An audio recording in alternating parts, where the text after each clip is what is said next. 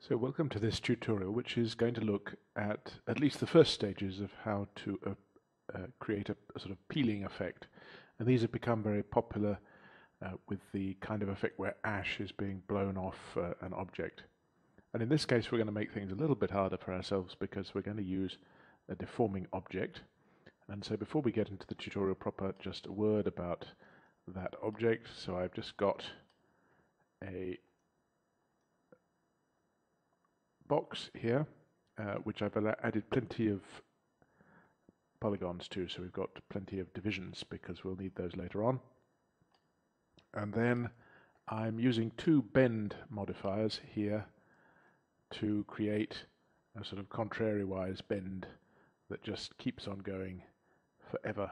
Uh, that's because I've got a sine function here which is providing the twist. And then what I've done is created a reference copy, or rather two reference copies. And you can do that here by right-clicking on a node and then Actions, and there will be one called Create Reference Copy. You can't see that on this one. Let me, let me try doing it over here. So if I wanted to create a reference copy here, I could do that. So I've created reference copies of these two, and then so we have exactly the same geometry coming down here and then I'm using a peak node uh, which is just making a little little bit smaller and then I've got an object out here and I'm putting this into something which I'm calling an underlying object so it's just being object merged in there. So in order to separate the two outputs of our box I'm just going to lay down a null here maybe on this one and I'll call this fractured. Help if I could type. And then with this selected, I'm just going to use the standard uh, tool here to shatter. So let me do that. And we can see that we get uh, some shattering here. I'm not going to go into how that works because that's uh, an another subject. But what we're going to do here is use these pieces as the basis for the bits that are going to peel off our object here. So a couple of things uh, to remark about this, one of which is that we can't just use these fractured pieces directly in our simulation because we're going to use the cloth solver and the cloth solver is quite particular about the geometry that you feed into it. So these sort of complicated triangles here, quadrant triangles that the fractures create aren't going to work. We're going to have to use something simpler. So actually we're just going to use this Voronoi fracture whoops, as a as a basis for splitting up our object. So what we're going to do uh, is we're going to lay down an attribute transfer SOP and we're going to take our, let me make this full screen, we're going to take our original unfractured uh, geometry here and we're going to copy across and indeed these two bend nodes are going to fit on the bottom of this. Uh, that's an example of why you must always only select one node when you connect, otherwise it connects to both. So we're going to attribute transfer from the fractured geometry to the new geometry here, and we're going to just transfer the name attribute. Now this is giving me an error. No, the error's gone away. So what we're going to do, what it's doing here, is it's taking the original geometry, the original geometry is just made out of quads, and each of those quads is getting a primitive attribute, which is a name, and that name attribute is being created by the fracture. And if we have a look here for a second at the geometry spreadsheet for the fracture, primitives, we can see that it has names. And each different piece of that fracture geometry has a different name. So if we transfer across, we can see that we get different names for our geometry here as well. So that's created, in effect, uh, groups of polygons on our quadrangles, on our object. Uh, which we can use to be the basis of the pieces that are going to peel off. But in order to get that to work with the cloth solver, these pieces need to be separate. The notion of separation in Houdini between different polygons is quite complicated. But essentially, when uh, two polygons are connected, it means that they share a single point. Uh, a single point is the vertex of two adjoining polygons. And when that happens, when the point is shared, that is counted as a connected piece of geometry. However, when you've got two points in exactly the same position, which are forming the two corners, the two vertices of polygons which are next to each other, if they don't share the same point, but they are two different points in the same position, uh, then those two polygons will be counted as not connected. It's a complex subject. I'm not going to cover it uh, in a great deal of detail here, but we can demonstrate by laying down a primitive split node. And what this is going to do is split up the primitives according to an attribute. So in this case, I'm using the attribute name. The tolerance, which is designed for attributes which are uh, numerical, isn't going to be relevant because obviously our name uh, is just either different or, or, or not different. There's no tolerance. And we can see there's something happened here quite subtly, and that's to do with the normals. Uh, but what's happened is that originally we had 2,300 points and 2,300 so polygons. Now uh, we have 2,700 points and 2,300 polygons. So a good many new points have been created and that shows you that different bits of this geometry have now been split apart. So the splitting doesn't actually make any difference to the the ability to deform this. Uh, we can see here I can still put my deformer down and this this works fine. So now we can turn this into a piece of cloth. Let me go up to the cloth shelf here and I'm just going to turn it into a normal cloth object. So let me hit that and what we should see, ah, we need to select the object. So let's do that, hit enter and we've now got a DOP import here and we've got an auto DOP network here. So let's dive down into the auto DOP network and we can see we've got a very simple auto DOP network. So we've got this which is setting up the cloth and this which is solving the cloth. So if we just run it, let's see what happens. Well, everything falls down because there's gravity and that you can see already, let's turn this, this grid off, we can see already that those different bits of, those different fractures that we divided the object into are, are all splitting apart and behaving like separate bits of cloth, which is what we want. However, we don't uh, really want that to happen right uh, at the beginning of our simulation, and also we probably don't want it to fall down. We probably don't want to use gravity, so let's just turn off gravity.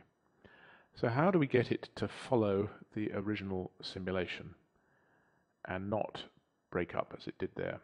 Well, the answer is that the cloth solver, or the, the FEM solver, recognizes a point attribute, uh, which tells the solver whether or not the piece of geometry it's processing should stay with the original animation uh, or the original deforming object or not. And the name of that attribute is pin to animation. So if I lay down an attribute wrangle, we can set that value uh, for all of the points on our geometry. So it's a float valued pin to animation. And we need to set it to 1. So this is going to this is going to set up that point attribute and that should ensure, let's go back into our AutoDOP network, that this will follow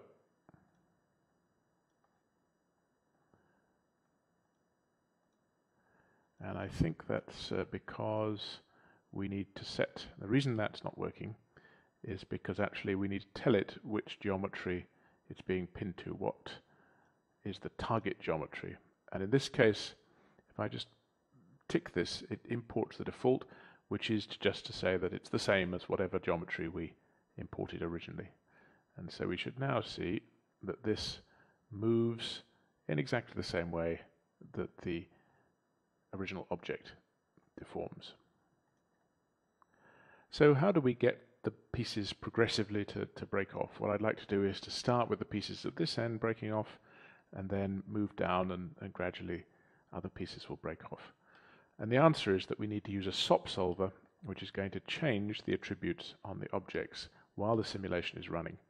So I need to disconnect the finite element solver, which is the thing that's solving the cloth, and I need to put down a SOP solver, and I need to put down a multi-solver, multiple solver.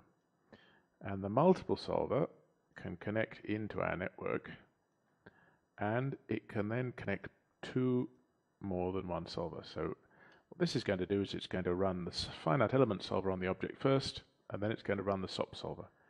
Now, I've done a whole tutorial on the SOP solver, but just briefly, when you're in DOPS, uh, you have a an object which is a DOPS object, but buried within it is some geometry. And this geometry you'll recognize is exactly the same as geometry that you would see in SOPs. And indeed, you can use SOP nodes to manipulate it. And this is what the SOP solver does. So uh, what you can do is dive down inside the SOP solver.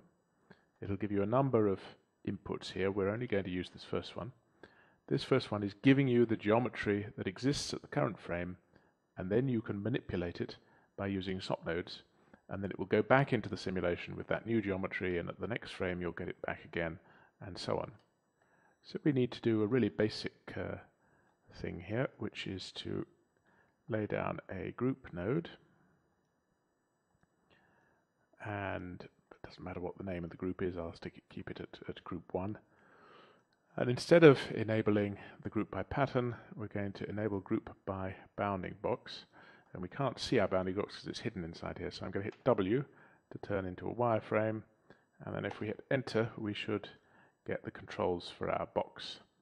So the first thing I'm going to do actually is increase the size a little bit so it's bigger than the deforming box. Make it quite a bit bigger actually. And the second thing I'm going to do is move it to one end here. And then I'm going to Alt left click and that will set a keyframe at that point. And then I'm going to turn off the simulation and I'm going to go to the end of our simulation, the end of our frame range, which is 100 in this case, and I'm going to move it right the way across here, and then I'm going to Alt left click again, which sets another keyframe, which means that as we go through the frames, this is this is going to move across like this. Now, the reason I turned off the simulation is because it's tricky. If you if you scrub through this timeline with the simulation set on, it'll try and simulate delays and everything. So it's a good idea to turn it off while you're setting the keyframes. So what this is going to do is it's going to group uh, all of the points which fall inside this box. And then I'm going to do an attribute wrangle.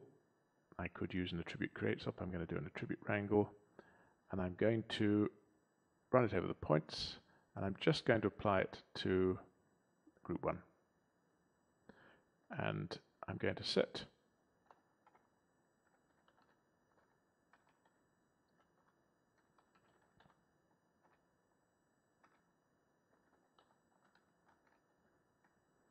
pin to animation to zero.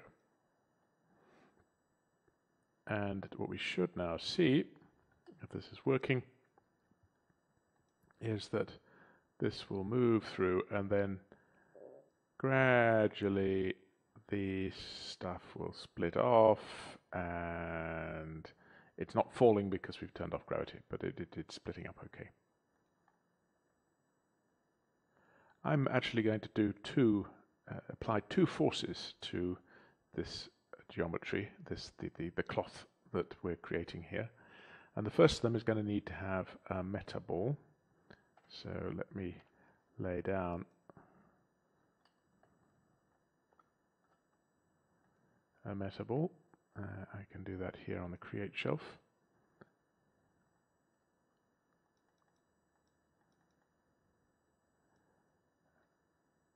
All right, there we go.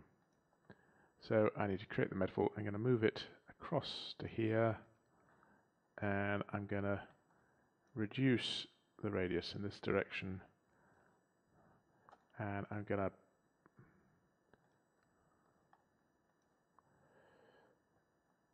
increase it again in that direction and then scale it up. So let's push it in a little bit. So it's just behind the surface there. That should work fine. And a metaball can be used uh, to create a magnet force. And a magnet force can either repel things away from the metaball or attract them. And in our case, we're going to repel them. So let's now set up that force. And we can do that uh, using a shelf tool. Here on the drive simulation shelf, uh, we should see magnet force there. And it's asking me first to select the dynamic objects. So I want to make sure that I select my cloth object here, press enter, and then it's asking me to, to select the metaball, which is this one here, and it's now created the magnet force. And I want to scale the force in a negative direction because I want the force to blow the pieces apart. And what this should uh, do now is, uh, unfortunately, we get this this sort of display here, which is going to confuse things. And you, on this version of Houdini, it doesn't seem to allow it to be turned off, but we can uh, actually we can perhaps turn it off here. Oh, well, it seems to be working. Good. No, well, no, it isn't. So let's play the simulation. And what we should see is at a certain point, uh, this will start detaching, and then as the pieces detach, they will be repelled by the magnet force and forced apart. So one of the problems uh, we've got here is that this these pieces are a bit too big uh, so we're not seeing much of the effect. So it's always a good idea at the beginning to keep your pieces quite big because the simulation runs more quickly that way. Uh, but the way to create more pieces is to go, rewind the simulation, is to go back to the creation of the Voronoi fracture here. And what we can do here is increase the number of points. At the moment we've got a count of 10, I'm going to whack that right up to 200 and that will probably cause it to pause for a bit while it works out. And then let's go back into our AutoDOP network and play through that simulation. So we've now got many, many more pieces. And this should mean that it splits into many more. Yeah we can see there are there are lots more pieces now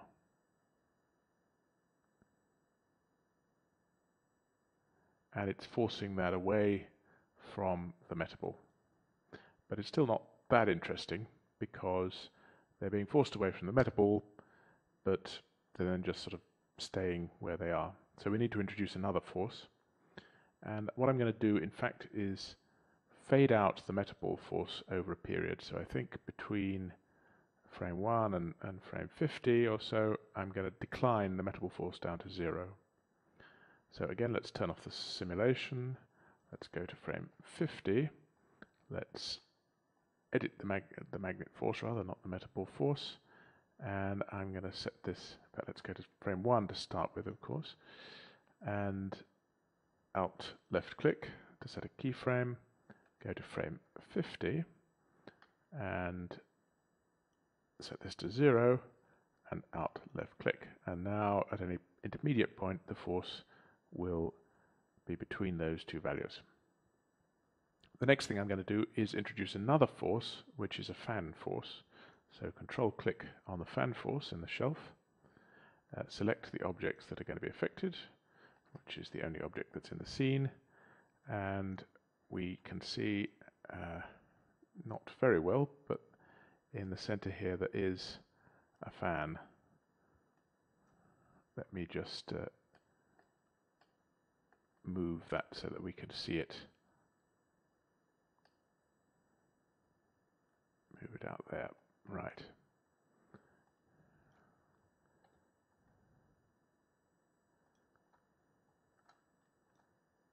And we need to make the fan. Ah, the reason is I've still got the simulation delay disabled, that's why we're not seeing it properly. So this is the fan let me move it back a little bit. And let me start at frame 1 turn off the simulation again with a value of 0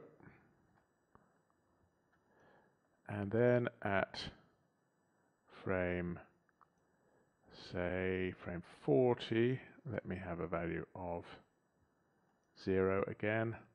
And then frame 55 let me have a value of 1e006 now you do need a very high force per unit area with this fan force otherwise it just doesn't move anything so let's see what that looks like so uh, it isn't working because we've got the simulation turned off. Let's see what that looks like. So as before, for the first few frames, everything is just following the animation. Then it's being affected by the metaball force, and that's moving these things out like so. And then it's going to get start getting affected by the fan force right now. So this is going to fan everything back out of the picture.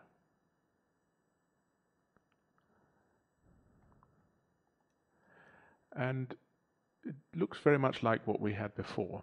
And that's because actually I've made a, a usual mistake, a, a very common mistake in dealing with DOPs. And that is that I've animated some parameters here, both on the magnet force and on the fan force and I've got this parameter set to use default and the default is uh, that it's going to be set initially. So this is not being updated at every frame, it's just being updated at the beginning. So I need to make sure this is set to set always. And also for the fan force, uh, this needs to be set always, and that will make sure that the fan and magnet forces change as they should. So let's have another look at this. And the fan force we can actually watch here as it increases, I think. So that's the magnet force is doing that, and then gradually the fan force, there we are, now we can see the fan force blowing all of that uh, stuff away like so.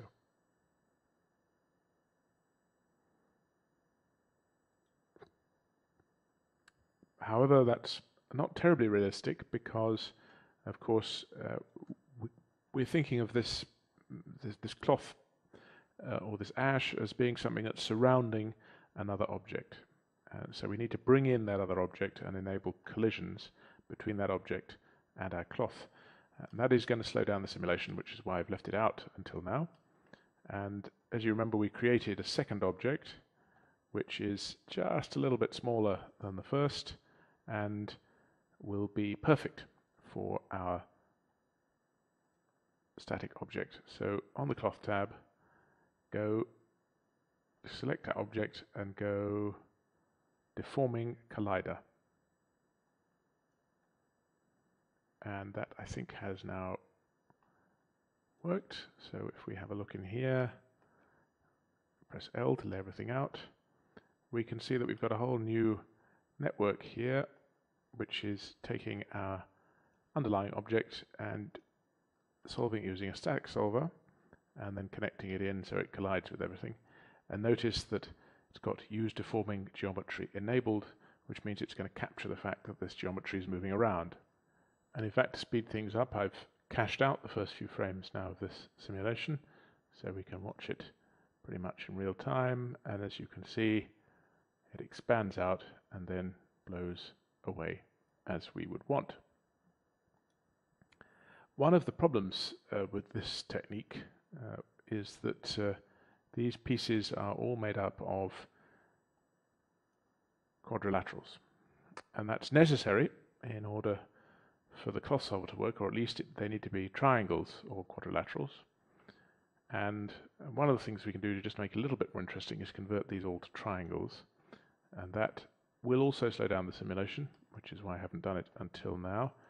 And we can do that uh, right at the beginning of, of all of this by changing the nature of our fractured geometry uh, by adding a subdivide node in here. And the subdivide node will allow us to create more geometry. Let me just turn off the display of other objects for a second and go in here and we can see that it's created more quadrilaterals but we want triangles and we can do that in fact by using the loop subdivision method and that will create an object like this. If you want to have sharp corners you can just override the crease weight here and sharpen up those corners. For this simulation it doesn't actually matter so I'm going to leave those like so and this is going to make it a little bit more interesting because the splits between the different pieces can now run along these triangular edges uh, as well as along uh, the, the square edges. So if we go down to the DOP import and let's play this through.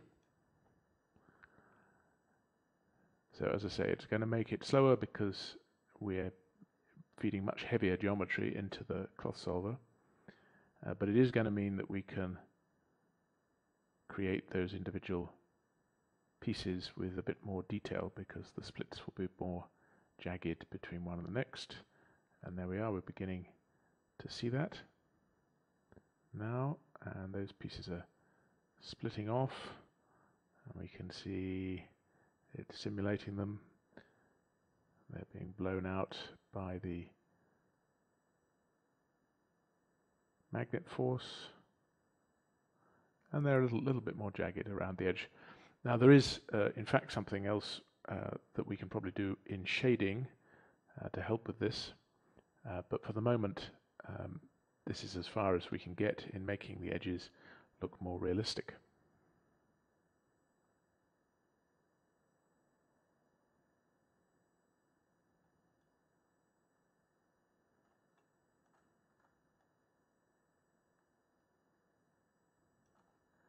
So one of the things that's always good to do in uh, a, a, simulation when you've got it to a point that you think is good uh, is to put down a file cache node uh, because that allows you to cache out the simulated object and you don't have to rerun the simulation every time.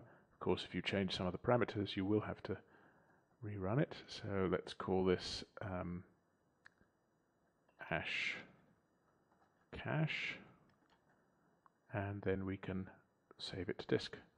Uh, but I won't uh, keep the video running while that's all saving out. I'll stop the video. So that's uh, now cached out. And we can see here as we play through, it all flies off like so. This piece here is looks like it's getting stuck, so we'll need to think about doing something about that in a minute. I guess it's getting out of the range of the fan force.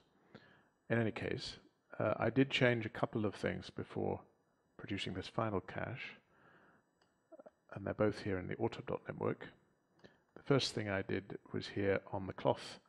I changed the overall stiffness down from the default of 2000 down to 500. And the second thing I did was change the animation on the fan force so that now it uh, starts building up from the first frame, not from uh, frame 40 or whatever it was before, and builds up uh, to frame 50. And that's the result you get. So I think we'll we'll probably leave uh, the tutorial here for the moment and come back to it uh, in a second tutorial to look at some of the other things we can do to make this a more interesting simulation uh, and those include adding some particle effects, further splitting up this uh, the, these pieces of ash, and uh, using shading to obscure the fact that these are just triangular pieces. Anyway, I hope that introduction to the ash effect has been useful.